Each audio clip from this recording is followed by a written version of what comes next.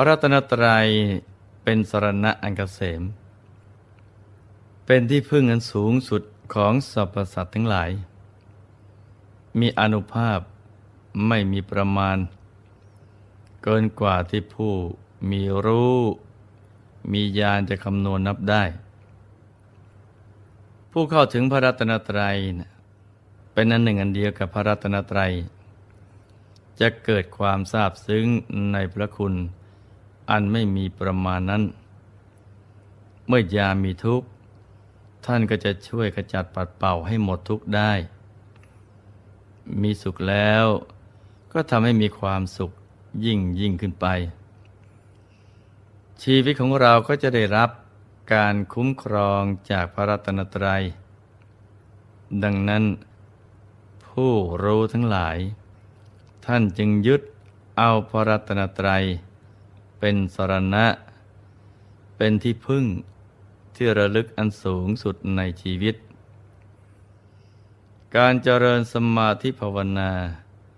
ฝึกฝนใจให้หยุดนิ่ง เป็นทางลัดที่สุด ที่จะทำให้เราได้เข้าถึงพระรัตนตรัยภายใน มีถ้อยคำที่เปรตตนหนึ่ง ได้กล่าวเอาไว้ในเปตวัตถุว่า ดิฉันไม่มีที่พึ่ง ไม่มีที่อยู่อาศัย นอนบนเตียงของคนตาย ที่เขาทิ้งไว้ในป่าช้า ดิฉันเป็นผู้ไม่มีภัยแต่ที่ไหนๆบันเทิงอยู่ เพราะทานของท่านพระสารีบุตรข้าแต่ท่านผู้เจริญ ดิฉันมาครั้งนี้เนะ่ยเพื่อจะไหว้ท่านพระสารีบุตรผู้เป็นนักปราชญ์ ความเป็นมาของถ้อยคำที่หลวงพ่อได้ยกขึ้นมาข้างต้นนี้เนะ่ยก็เนื่องมาจากเปรตตนหนึ่ง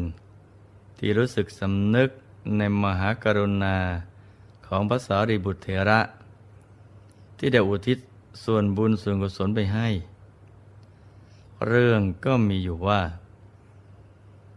ในสมัยพุทธกาลพระสารีบุตร พระมหาโมคคลานะ ระอนุรุทธะ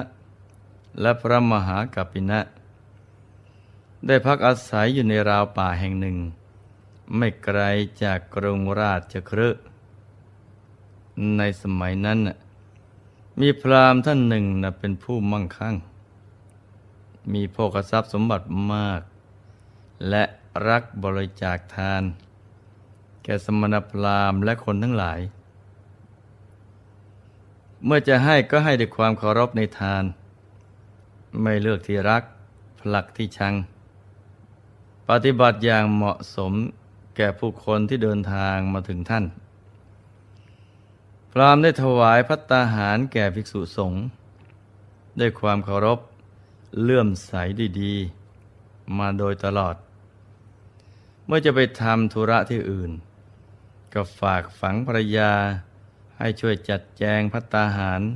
หวานข้าวแทน ส่วนภรรยาน่ะเป็นมิจฉาทิฏฐิทำเป็นรับคำของสามี แต่พอสามีจากไป ก็ไม่ยอมให้ทานแก่ภิกษุสงฆ์ดังที่เคยทำให้พระท่านมารอเกอร์ เมื่อคนเดินทางไกลเข้าไป เพื่อขอพักอาศัย ก็ได้รับการปฏิเสธ เมื่อยาจกวณิพก เดินทางมาเอาข้าวและน้ำ นางก็บริพาทด่าว่าคนเหล่านั้น ว่าพวกท่านจงกินคูด ดื่มมูด ดื่มโลหิต กินสมองของมารดาท่านเถิด ท่านจะมาหากินอะไรที่บ้านของเรา ว่าแล้วก็ขับไล่สายส่งคนเหล่านั้นออกจากบ้าน นางทำอยู่อย่างนั้นเป็นประจำ เพราะสามีไปค้าขายต่างแดนหลายเดือน สามีก็ไม่รู้ว่า ภรรยาได้เลิกให้ทาน ซึ่งเป็นประเพณีของวงตระกูล ที่ได้ประพฤติปฏิบัติกันมายาวนาน ต่อมานางเกิดป่วย เป็นโรคลมในท้อง ไม่สามารถหาหมอมารักษาได้ทันทำให้สิ้นใจ เมื่อทำกาละแล้ว กรรมบีบคั้นให้นางไปบังเกิดในกำเนิดเปรตเสวยทุกข์อันเหมาะสมแก่กรรมของนาง นางพยายามหาทางที่จะหลุดพ้นจากทุกข์ในอบายภูมิ จึงหวนระลึกถึงความสัมพันธ์ ที่เคยเกิดเป็นมารดาของพระสารีบุตร ในชาติปางก่อน มีความประสงค์ จะไปขอความช่วยเหลือจากพระเถระ ในขณะเดินทางไปถึงประตูวิหาร อารักษเทวดา ที่สิงสถิตอยู่ที่ประตู ก็ห้ามเอาไว้ ไม่ยอมให้นางเข้าไป นางเปรตได้อ้อนวอนอารักเทวาว่า นางเคยเป็นมารดาของพระสารีบุตรในชาติที่ห้าแต่ปัจจุบันชาตินี้ ขอให้นางได้เข้าไปพบพระเถระด้วยเถิด เทวดาได้ฟังดังนั้น จึงอนุญาตให้นางเข้าไปได้ ครั้นเปรตเข้าไปภายในวิหารแล้ว ได้ยืนอยู่บริเวณที่จงกรม และปรากฏกายอันน่าเวทนาแก่พระเถระ พระเถระพอเห็นเปรตตนนั้น ก็บังเกิดความกรุณาขึ้นมาในใจ ปรารถนาอยากช่วยนางให้หลุดพ้น จากความทุกข์ทรมาน ได้ไต่ถามนางว่า ท่านเป็นผู้เปลือยกาย มีรูปร่างไม่น่าดู สูบผอม เนื้อตัวสะพรั่งไปด้วยเส้นเอ็น ท่านเป็นใครนะ่ะมายืนอยู่ในที่นี้ทำไม เปรตเมื่อถูกพระเถระถาม ก็ได้ลำดับเหตุการณ์ให้ท่านทราบ ฟังว่า เมื่อห้าชาติที่แล้วเนี่ย เคยเป็นมารดาของภาษาริบุตร พบชาตินี้เนี่ยได้เข้าถึงเปรตวิสัย มากไปด้วยความหิวและความกระหาย เมื่อถูกความหิวครอบงำก็กินน้ำลาย น้ำมูก เสมหะที่เขาถมทิ้ง และกินมันเหลวของซากศพ ซึ่งกำลังถูกเผาที่เชิงตะกอน กินเลือดของพวกหญิงที่คลอดบุตร และเลือดสดๆของพวกบุรุษที่ถูกตัดมือตัดเท้า นางเปรตรำพึงต่อไปว่า ในอัตภาพของเปรตนี้เนะ่ยต้องกินเนื้อ เอ็น และข้อมือข้อเท้า ของคนที่ตายแล้ว กินหนองและเลือดของปศุสัตว์และของมนุษย์ ไม่มีที่พักอาศัย ร่อนเล่ไปได้รับความยากลำบาก ยิ่งกว่าคนพเนจรในมนุษยโลกนี้เสียอีก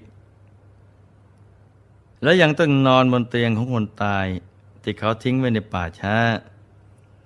จึงอ้อนวอนภาษาดิบุตรว่าฉะไหนหนอ แม่จึงจะพ้นจาก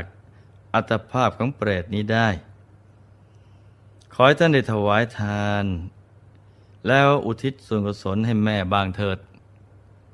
พระสารีบุตรเถระได้สดับดังนั้นแล้ว ในวันรุ่งขึ้น จึงเล่าเรื่องให้พระเถระทั้งสามรูปทราบ จากนั้นก็ไปบินาบาตในกรุงราชครืได้ไปถึงพระราชนิเวศของพระเจ้าพิมพิสาร พระราชาเห็นพระเถระมาพร้อมกันอย่างนั้น ก็ตรัสถามถึงสาเหตุของการมา พระเถระก็ได้ทูลเรื่องราวที่เกิดขึ้น เมื่อคืนที่ทรงทราบ พระราชาเห็นความตั้งใจดี ของพระเถระที่อยากจะช่วยโยมารดา ก็มีจิตศรัทธา รับสั่งให้เรียกอมมาตผู้สำเร็จ ราชการมาเข้าเฝ้า ทรงพระบัญชาให้สร้าง กุฏิสีหลัง เมื่อกุฏิสร้างเสร็จแล้ว พระองค์ก็ให้ตระเตรียมพลีกรรมทั้งหมด ตั้งแต่จัดแจงข้าว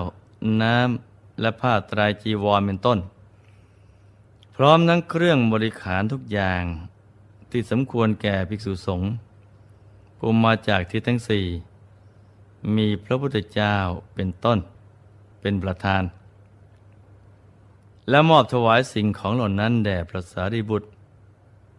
พระเถระเมื่อได้รับถวายกุฏิที่พักสงฆ์พร้อมด้วยทยธรรมจากพระราชาทุกอย่างแล้ว ก็ได้ถวายสิ่งของทั้งหมด แด่ภิกษุสงฆ์ผู้มาจากทิศทั้งสี่ มีพระพุทธเจ้าเป็นประธาน แล้วก็ได้อุทิศแก่เปรตผู้เป็นมารดา ฝ่ายเปรตมารดาเมื่อได้อนุโมทนาส่วนกุศลแล้ว ก็ได้ไปบังเกิดในเทวโลก ร่างพร้อมไปด้วยสิ่งที่น่าปรารถนาทุกอย่าง ในคืนวันต่อมาก็ได้เข้ามาไหว้พระมหาโมคคลานาเทระ ระเทระสอบถามเปรต ซึ่งบัดนี้นะ่ะกลายไปเป็นเทพธิดาไปแล้วว่า ดูก่อนเทพธิดา ท่านมีวันณะงดงามยิ่งนักส่องสว่างสวัยไปทั่วทุกทิศ สถิตอยู่ดุดดาวประกายพฤกษ์ท่านมีวันณะเช่นนี้เนะ่ยเพราะกรรมอะไร อิทธผล ยอมสำเร็จแก่ท่านในวิมานนี้นะเพราะกรรมอะไร และโภคะทุกอย่าง อันเป็นที่พอใจนะ่ยบังเกิดขึ้นกับท่าน เพราะกรรมอะไร ดูก่อนเทพธิดา เมื่อท่านเป็นมนุษย์ได้ทำบุญอะไรไว้ ท่านจึงมีอนุภาพ รุ่งเรือง และมีรัศมีกายสว่างสวัย ราะบุญกรรมอะไร เทพธิดาก็ได้เล่าเรื่องราวที่เกิดขึ้นทั้งหมด ให้พระเถระฟังว่า เคยเป็นเปรตผู้หิวโหยมาก่อน แต่ตอนนี้เป็นผู้มีความสุข ความบันเทิงในโลกสวรรค์เพราะการให้ทานของท่านพระสารีบุตร และที่มาครั้งนี้เนะ่ยก็เพื่อจะไหว้พระสารีบุตร ผู้เป็นนักปราชญ์ ผู้มีความการุณาต่อสัตว์โลก พระมหาโมคคลานาเถระได้กราบทูล เรื่องนั้นแด่พระบรมศาสดา จากนั้นพระพุทธองค์ก็ทรงนำเรื่องนั้น มาตรัสเล่าให้มหาชนได้รับฟังกัน แล้วทรงแนะนำให้ตั้งอยู่ในความไม่ประมาทให้เห็นทุกข์เห็นโทษของการไม่ให้ทาน ทำให้มหาชนรักในการสั่งสมบุญ และได้บรรลุธรรมมาพิสมัยกันมากมายนับไม่ถ้วน จากเรื่องนี้ เราก็จะเห็นว่า ความตรณีนะเป็นภัยในวัตะ ที่ส่งผลให้คนคนนั้น จากที่เคยเป็นอยู่อย่างสุขสบาย ต้องไปรับทุกข์ทรมาน แสนสาหัสในอบาย ในอัตภาพของเปรตเป็นเวลายาวนานทีเดียว นี่ถ้าไม่ได้ภาษาริบุตรช่วยเอาไว้ โอกาสที่จะต้องเสวยวิบากกรรม อันเผ็ดร้อนก็ยาวนานออกไปอีก เพราะฉะนั้น